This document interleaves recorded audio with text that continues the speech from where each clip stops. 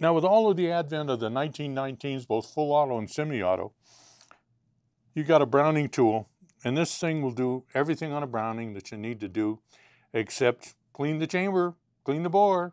It'll do everything. It's got all the sizes for all the uh, nuts, bolts, everything else on a, uh, 1919 for taking off the top cover, working on the buffers, anything you need to do on a 1919. And it's got two punches to punch out any of the pins you need to do. Now, that's for 1919. When they went to the M60, we got a lot simpler tool. You got the hole for the gas cylinder, you got a screwdriver blade, you got the pin punch, and you've got the wrench. And this tool is for the M60, and it's pretty nice. The next gun, the M73 and the M219, uh, when they worked, uh, you had a broken shell extractor, and this one is kind of unique for a broken shell extractor. It depends on the rim staying on the round. So this is useless if you have a case separation. It only works when you've got a partial problem with the chamber or the extractor broke. This fits over the back of the cartridge case on the rim, and it allows you to lever the round out of the chamber.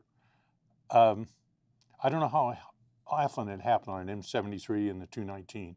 I only had a little exposure to those guns, and what exposure I had, I had to hold my nose. I didn't like those guns. They were way too complicated. The, the best feature they had was left and right feed, but that wasn't enough to make up for not working, okay? Especially in a tank when you need a gun.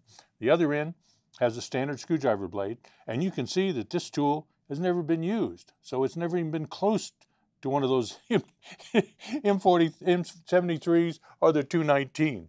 Now these are fairly inexpensive because there's not a lot of use for them. People don't use them for much. Uh, contrary to the M60 tool, uh, you know, they're probably 15 to 20 bucks. The 1919 tool, you can even find them new in the wrap for 20, $25. So th those are out there. This tool is interesting if you're a collector.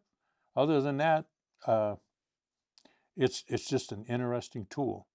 Now the Soviets, like us, they built a lot of different kind of guns and they had a lot of different kind of tools. Now one of the older tools is for the Mosin Nagant. It's a screwdriver and it's got several cuts in it so that you can measure various aspects of the mechanical uh, properties of the Mosin Nagant so you can keep it in service. This was usually issued in a little canvas pouch with a cleaning uh, jag and a couple of things like that. These are pretty inexpensive. Uh, some people really look at the proofs even to see which factory made it and then might jack it up. But still, it's a $10, $12 tool. It's uh, the cuts allow you to check things on the Mosin Nagant. So, you know, you could use a caliper, but this is already pre-made. You can do it, check it out, and it works good. And it looks kind of nice hanging on the workbench when you have customers come in. Now, the Tokarev had a whole range of tools. Now this tool right here is for the sniper. You've got a hex or a pentagon right here for running on the gas.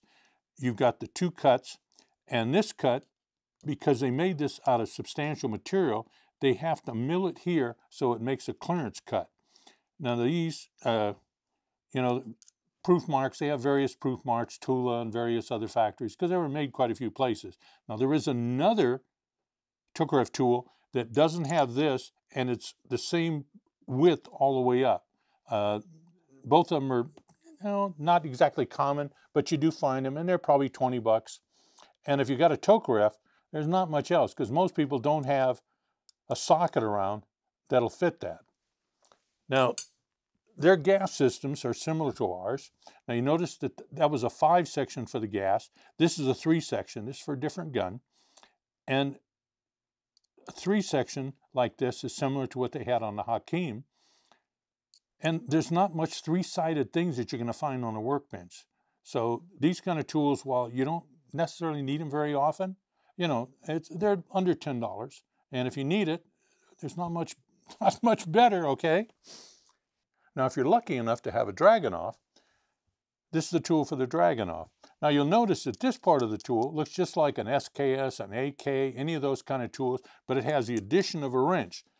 Now, this one's brand new. It's never been on a gun. So, and it's got the, the pin punch, it's got the jag, you know, the, the brush, and the other little tool which allows you to adjust the sight and it's got a screwdriver blade. So, you know, a lot of Dragunovs came with this tool, but a lot didn't. And frankly, they're not easy to find. Uh, unlike the SKS tool and the uh, AK tool, these probably run 25 or so, where the SKS tool is probably, you know, three to six bucks. The AK one, pretty much the same price. They're nice tools. This one just happens to be brand new. Now, their machine gun tools were kind of interesting. These just came in and we're not sure exactly which gun it's for. It's a nice tool. It's got a tiny screwdriver blade on one, of the, one end of this and the other end is a pin punch. And you've got several nuts and a screwdriver on this end. And this is interesting because down deep in here, there's a screwdriver blade. So this must go over a shaft to work a, a, a, screw like an adjustment system. Now, exactly what gun this is for, we don't know yet. We're working on that. Now, this is a similar Russian tool, a little bit different. Now, these are hammers. You know, didn't take as long to figure that out. Uh, so it, it, it's, it's used around another machine gun. Again, we're not sure. These just came in. We're trying to figure out what they are because uh, being a warehouse full of stuff, stuff comes in all the time. We don't always know what it is. People who sold it to us may not know what it is. And it's our job to figure out what it is before we can turn it into merchandise. Because if we don't know what something is, it's not merchandise.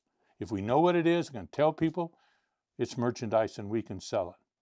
So when you're out there, if you find something you don't know what it is, you know, it might be worth picking up. You never can tell. Now let's get back to you using these tools. Why have these specialized tools? Well, if they do a job that might take an hour using two pairs of vice grips and a screwdriver, or you can do it with the tool in 15 minutes, that's money, that's time in your favor. You get to do a job and finish it and finish it right. During that extra time, you get to do another job. So it's helping you not only with what the job you're doing, but the other jobs that people are waiting for. So don't always think about, oh, that tool is too expensive for me.